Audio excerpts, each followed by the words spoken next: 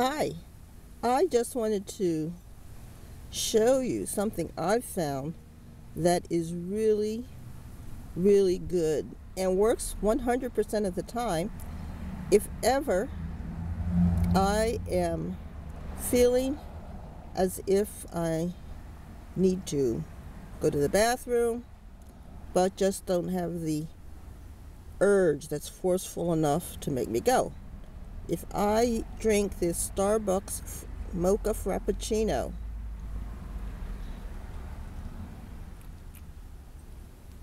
I find I get 100% results within 15 minutes to 3 hours. It's excellent, it tastes good, it's not expensive. So if you do have to resort to this, it is a nice drink to have. The Mocha Starbucks Frappuccino, for me, works all the time.